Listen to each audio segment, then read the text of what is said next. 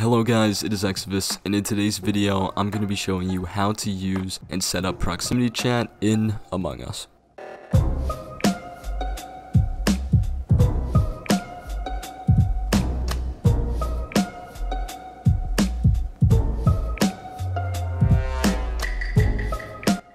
Games of Among Us can feel a bit repetitive or even predictable at times after weeks of playing.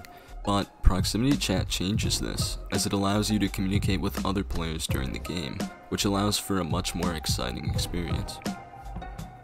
No, get away from me! What? Go! Leave! No! You unlock the door right now!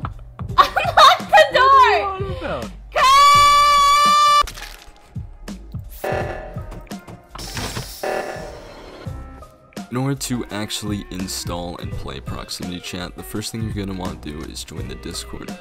The link will be in the description below.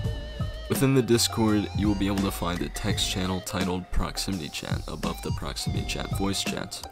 In this text channel, you'll find the link to the Proximity Chat install, as well as more information if you get stuck throughout the process of installing CrewLink.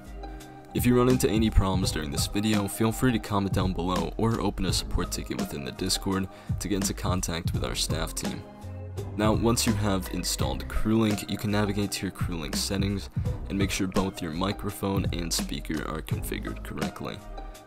Then you will have the option to turn on push to talk as well as configuring a deafen button.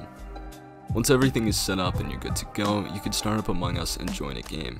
If you want to find others to play with, you can join a proximity chat VC in the Discord. But yeah, that's pretty much it. Hope you guys enjoyed the video, and I'll see you guys in the next one.